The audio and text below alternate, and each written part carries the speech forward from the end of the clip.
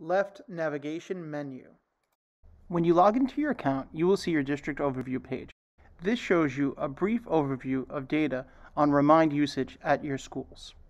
By clicking on your username in the top left corner, you have access to account settings, which will allow you to make changes to your account, and the Learning Center, where you can gain access to training videos to help learn how to use Remind. Get Help, which will provide you access to our Help Center if you are stuck and have questions or need assistance from our support team. Get the Remind app and log out.